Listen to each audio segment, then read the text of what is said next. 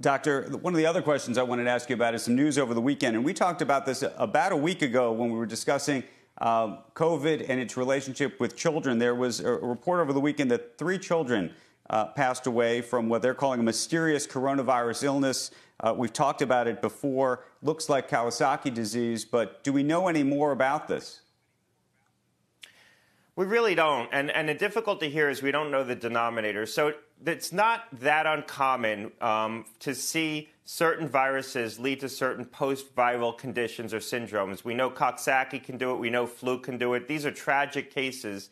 Um, there's been several dozen reported. What we don't know is how many kids have actually had coronavirus infection, either were asymptomatic or mildly symptomatic and cleared the infection. And then what we're seeing is some kind of post viral condition.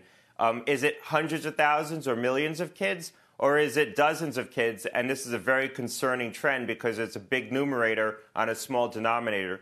There was a good study in Science about two weeks ago that said that children are about a third as susceptible to the infection as someone aged 14 to 65. And so, what the study found is that kids are probably getting infected, but at a much lower rate because they're not as susceptible for reasons we don't fully understand but it would suggest that there probably are more kids infected than what we presume right now. The literature on this is mixed. There's studies on both sides of this debate that people can cling to. There's going to be a more definitive study of about 6,000 people that the NIH just started. That's probably going to give us a definitive answer about just what percentage of kids are getting coronavirus. But that's going to help inform just how concerning we sh- how concerned we should right. be about these cases. Now, of course, we're concerned about it, but we need to understand what at what rate are these these cases occurring?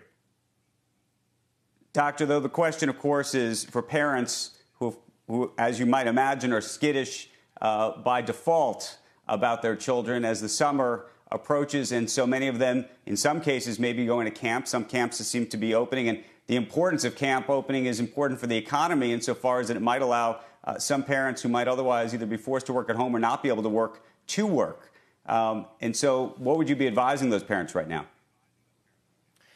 Well, look, I think there was there was a point weeks ago, months ago, when people were perhaps in the media a little bit cavalier about the risk to kids because there was a perception that kids just weren't getting coronavirus. It wasn't affecting them. We didn't see any deaths among kids.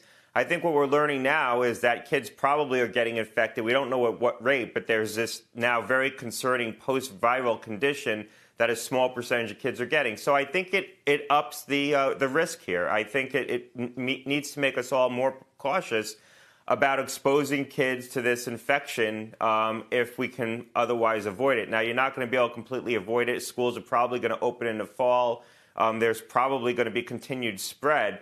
But I think in the interim, it's going to raise concerns about restarting camps and doing things where you're putting kids back into an environment where you could have large outbreaks until we understand better what this condition is and exactly what the rate is. It might be very small. I mean, we're probably looking at a situation between where between 10 and 20 million people in the United States probably have had this infection at this point. We're only diagnosing at most 1 in 10 infections.